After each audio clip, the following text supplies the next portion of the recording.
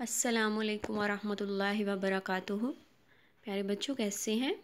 उम्मीद है आप सब खैरियत से होंगे और अपने अपने काम को आप अच्छे तरीके से कर रहे होंगे, ठीक है? तो नई जमात है, नया काम है, आप बहुत पुरजोश होंगे। तो चले आए बच्चों, आगे से हम अपना काम शुरू करते हैं, ठीक है? तो हमारी नज़्म थी, खुदा की कुदरत। सफ़ा नंबर एक, ठीक है? तो सबसे पहले मुझे बताइए, नज़्म किसे कहते हैं?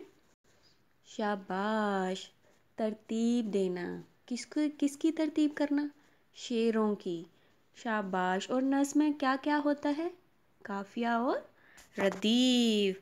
जी तो मुझे ये बताइए, खुदा की कुदरत जो नज़म है, किसने लिखी? इस्माइल मिरठी ने। जी शाबाश। तो चले बच्चों, सफ़ा नंबर तीन खोलिए और सवाल नंबर तीन देखिए। ठीक है? सब अपने अपनी अपनी किताब का सफ़ा नंबर तीन खोल चुके हैं। तो पेंसिल पकड़िए। तो सबसे पहले है, नज़म के मुताबिक काफ़िए लगाकर मिसरे मुकम्मल करें। ये हाँ खाली जगह मुकम्मल करेंगे, क्योंकि हम ये नज़म पढ़ चुके हैं तो अब आप ये खुद बताइएगा, ठीक है? तो सबसे पहले बताइए, काफिया क्या है? जी, हम आवाज़ अल्फाज को काफिया कहते हैं। क्या है काफिया की तारीफ़? जी, ये देखिए, ये जो, याद रखिए, जो छोटा सा खान बना है, इसमें लिखी भी है, हम आवाज़ अल्फाज को काफिया भी कहते हैं। ठीक हो गया? तो चलिए देखिए, सबसे पहला मिसरा देखिए, फूटे नई कोम्पलें शजर में। एक जोश भरा हुआ है सर में। तो यहाँ पे खाली जगह में लिखिए, सर, लिख चुके हैं।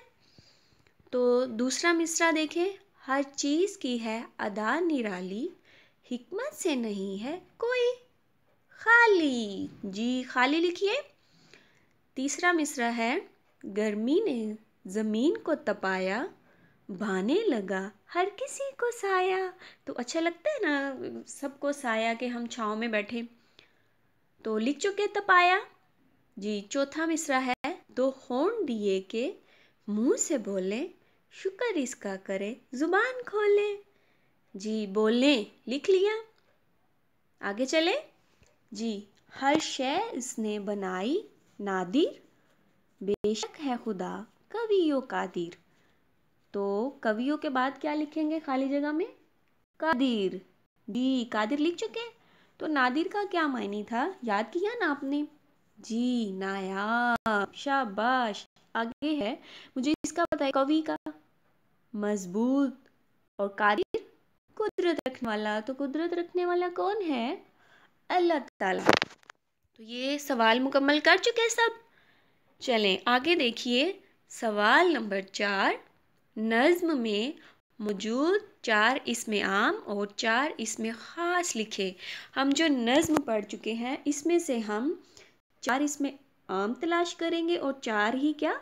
इसमें ख़ास को तलाश करते हैं। चलिए आए मिलके करते हैं।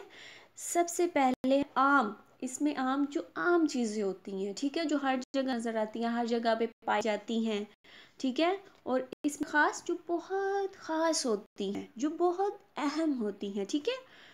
तो इसमें आप पहले चार तलाश कीजिए मेरे साथ मिलकर। जी, शजर। लिखिए, शजर। लिख चुके? बहुत आम है ना, दरख्त तो हर जगह पाए जाते हैं। कॉम्प्ले जो फूटती हैं नए नए पत्ते जो निकलते हैं उसके, ठीक है? तो बदन, इंसानों के बदन ही होते, इंसान तो हर जगह होते हैं, ठीक है? रात, रोज रात आती है, ये भी तो आम ही है ना। जी अब आए मिलकर तलाश करते हैं इसमें। ख़ास, सबसे पहले लिखिए, क्या है ख़ास? खुदा, जो हम सबका पालने वाला है, ठीक है? तो बहुत ख़ास है ना हमारे लिए। जी, हम सब के लिए। बरसात, ये भी तो रोज़ रोज़ नहीं ना आती, बारिशें रोज़ रोज़ तो नहीं ना होती। बहार बहार के मौसम में, जब पत्ते निकले, निकलते हैं दरख्तों पर, और जारा ये भी एक मौसम है सर्दी का।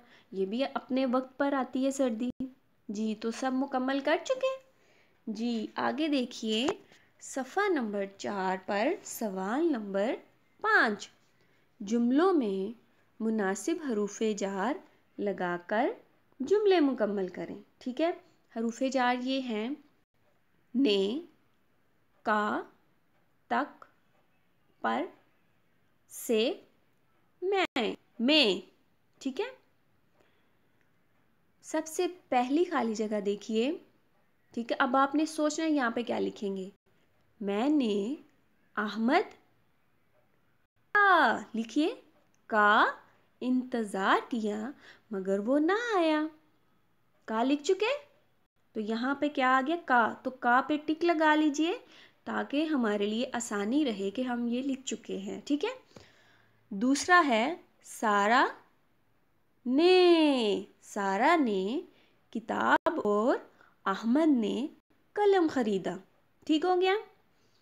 तीसरे पे अब बोलिए आप, स्टेशन तक, शाबाश, स्टेशन तक पहुँचते पहुँचते हामिद के कपड़े बिक गए। ठीक है? आगे है, कचरे को कूड़ेदान में फेंकना चाहिए जी, में। आगे है। मैं सुबह से, जी, आपका इंतज़ार कर रहा था। से भी हो गया। से भी टिक लगा लीजिए। आगे है। छत। जी, पर पर लिखिए। छत पर बैठा कौवा काए काए कर रहा था। जी, ये थी हमारी खाली जगह जो मुकम्मल हो चुकी है। तो आगे देखिए, जुमले, ठीक है? सवाल नंबर छः का जो मरकज़ी ख्याल था, वो हम कर चुके हैं। तो अब हम करेंगे जुमले, ठीक है? तो सबसे पहले है हिकमत। हिकमत का जुमला है, अल्लाह ताला की बनाई हुई हर चीज़ में हिकमत नज़र आती है। ठीक है? तो कोई एक जुमला भी बनाइए। और भी कोई जुमला बना सकते हैं। खुद से भी जुमले बनाइए, ठीक है? आगे है सफ़ाई। अम्मी रोज़ सफ़ाई करती हैं, ठीक है? मैं घर की सफ़ाई में अपनी बहन की मदद करता हूँ। यहाँ सफ़ाई निस ईमान है, ठीक है? हमें साफ़ सुथरा रहना चाहिए ना।